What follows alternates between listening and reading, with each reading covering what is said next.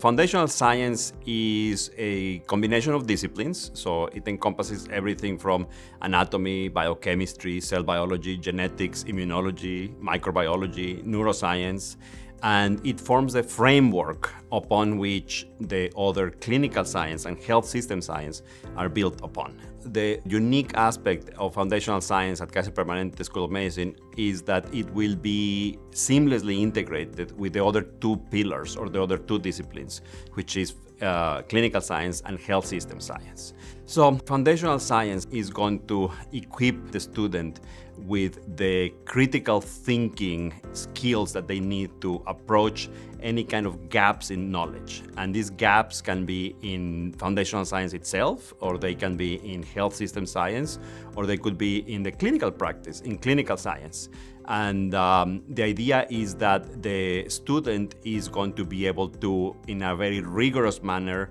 address and identify these gaps and have a sound method to approach them. We want them to simply be able to approach these problems in a rigorous manner, use evidence based solutions, and apply these solutions to the problems my department and the faculty in my department, our job is to ensure that they have this rigorous backing of scientific